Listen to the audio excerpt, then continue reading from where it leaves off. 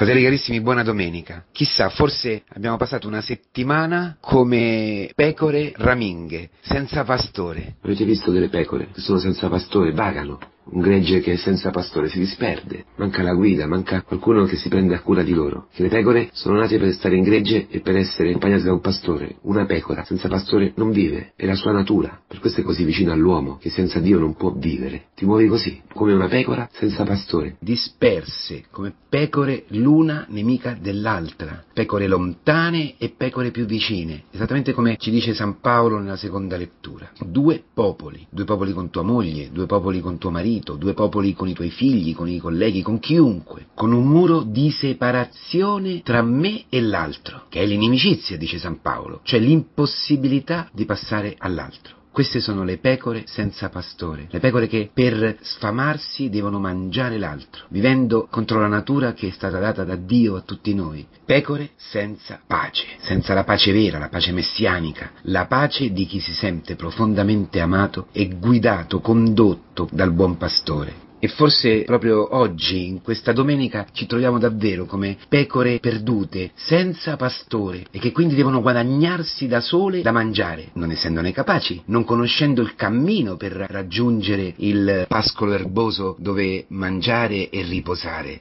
dove essere veramente pecore, dove veder compiersi la propria vita. Non sappiamo, e allora dobbiamo faticare, dobbiamo occuparci mille cose, sperimentando quello che hanno sperimentato Adamo ed Eva come conseguenza conseguenza amara del loro peccato di orgoglio, hanno tagliato con il pastore della loro anima e si sono trovati nudi e obbligati a faticare, a vivere una vita difficile, grama, esattamente come le pecore senza pastore non trovano pascolo, lo cercano ma non lo trovano perché hanno perduto il loro pastore, hanno perduto il loro gregge, si sono separate e l'autodeterminazione superba le conduce al fallimento di Adamo ed Eva, il fallimento delle relazioni, del lavoro, nello studio, sudano, si affaticano, si sforzano, si impegnano e hanno un pugno di mosche nelle loro mani, come te e come me, come pecore senza senza pastore, occupate contro natura a procacciarsi il cibo che invece la pecora, obbediente, la pecora mite, mansueta, seguendo il suo pastore, trova gratuitamente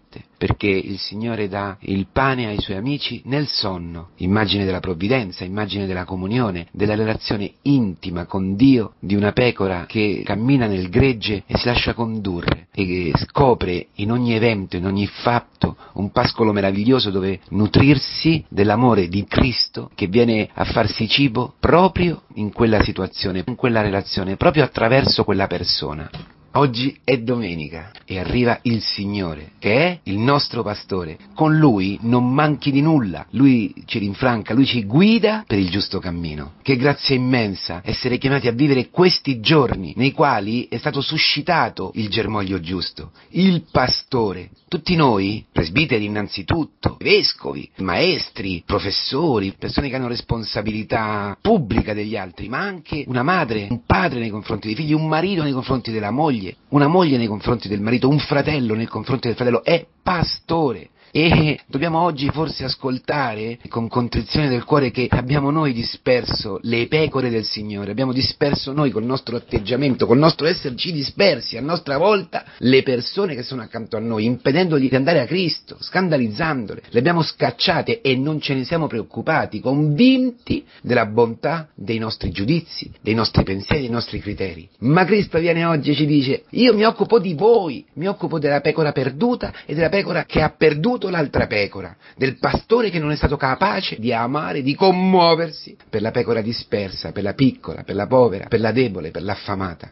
È il Signore stesso che raduna oggi, in questa generazione, il resto delle sue pecore, da tutte le regioni dei nostri peccati, delle nostre mormorazioni, delle nostre concupiscenze, delle nostre idolatrie. Lui le farà tornare ai loro pascoli, costituirà pastori. Oggi tu sei costituito come pastore che faranno pascolare le pecore, che faranno pascolare i fratelli, il gregge affidato loro così che non dovranno più temere né sgomentarsi. Di esse non ne mancherà neppure una, nemmeno quel tuo figlio che ti sembra perduto. Perché come dice San Paolo, lui è la nostra pace che viene a cercare la pecora nel posto peggiore e si ferisce delle stesse ferite della pecora per andarla a prendere, per mettersela sulle spalle e tornare sul cammino che la pecora ha percorso allontanandosi da lui. Bene, voi che un tempo eravate lontani siete diventati i vicini, grazie al sangue di Cristo, quel sangue che è colato sulla croce. Cristo è venuto a radunare ogni pecora, distruggendo l'inimicizia, distruggendo i giudizi, il voler impossessarsi dell'altro, possedere l'altro.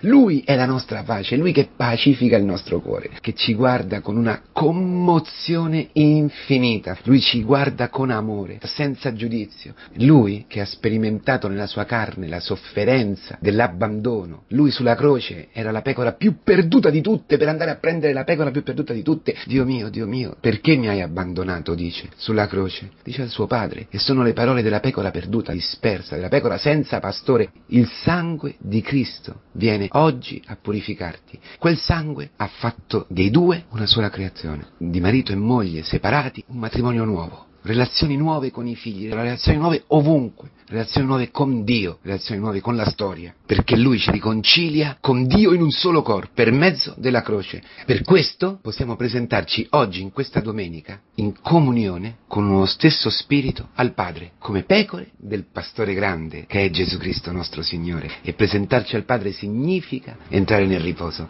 in questi pascoli dove non abbiamo niente da temere, perché Cristo è con noi anche se dobbiamo camminare in una valle oscura, perché la croce ci dà sicurezza. Lui prepara oggi, in questa domenica, davanti a noi una mensa, sotto gli occhi dei nemici che ci vogliono far disperdere di nuovo il demonio, le tentazioni. Lui ci cosparge di olio, di Spirito Santo, il nostro capo, la nostra ragione, il nostro calice trabocca di gioia, di allegria, perché la Pasqua si compie in questa domenica, nella nostra vita, per abitare eternamente nella casa del Signore. Per questo, inviati come pastori delle persone che ci sono affidate, torniamo oggi, in questa domenica, e riferiamo a Gesù tutto quello che abbiamo fatto, insegnato, male, bene, le nostre sofferenze. Abbiamo un luogo dove sperimentare la sua commozione. Gesù non è indifferente alla vita di nessuno. Commuoversi, questa parola in greco, la relazione con le viscere di una madre, dove la madre si muove con, commuove con il suo figlio. Nelle viscere di Gesù, nel profondo di Gesù, c'è un muoversi insieme a te e a me, insieme ad ogni uomo, cioè entrare in una relazione così profonda, così intima come quella di una madre con il suo figlio, con il figlio che porta in grembo.